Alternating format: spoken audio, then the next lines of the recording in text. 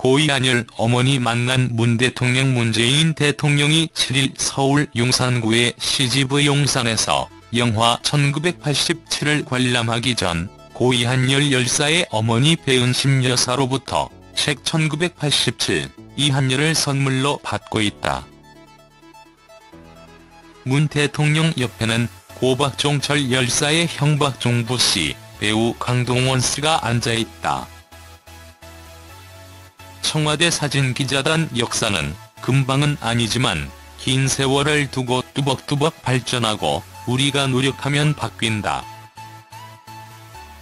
문재인 대통령은 7일 박종철 열사 고문치사 사건을 다룬 영화 1987을 관람한 뒤 이같이 말했다.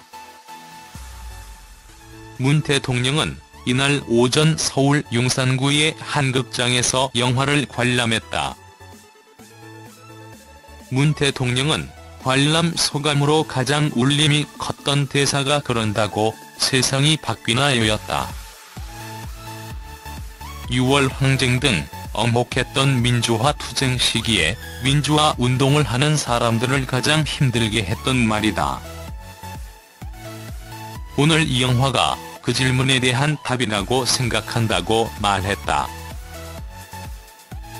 1987년 부산에서 인권 변호사로 활동했던 문 대통령은 6월 민주항쟁 당시 국민주도회를 주도했다가 경찰에 연행되기도 했다.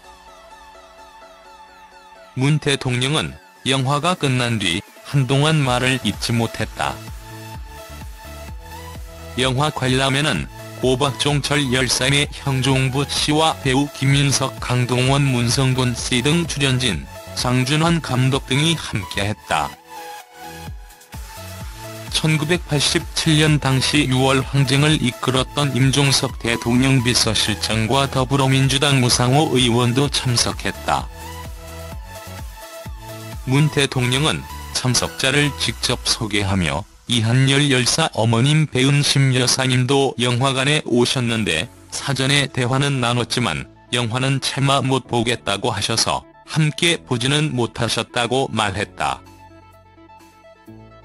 문 대통령은 정권 교체를 하지 못해서 여한으로 남게 된 6월 항쟁을 완성시켜준 게 촛불항쟁이라고 했다. 또 이 영화는 확실히 천만 명을 넘기겠다는 확실한 예감이 든다고도 했다. 문 대통령이 취임 후 영화를 관람한 것은 지난해 8월 택시 운전사와 10월 미싱에 이어 세 번째다. 문 대통령은 영화 관람 후 박근혜 정부 당시 이른바 문화계 블랙리스트에 올랐던 예술인들과 간담회를 가졌다. 문 대통령은 블랙리스트 피해자 중 절반 이상이 2012년 대선 때 저를 지지하는 활동을 했거나 지지 선언에 이름을 올린 단순한 이유 하나로 오랜 세월 고통을 겪었다. 제가 2012년 대선 때 정권 교체에 성공했다면 그런 일을 겪지 않았을 텐데라는 회한이 있다고 말했다. 이어 앞으로 문화예술에 관한 정부 지원을 대폭 늘리되 정치적 성향을 가지고 일절 차별하지 않겠다고 말했다.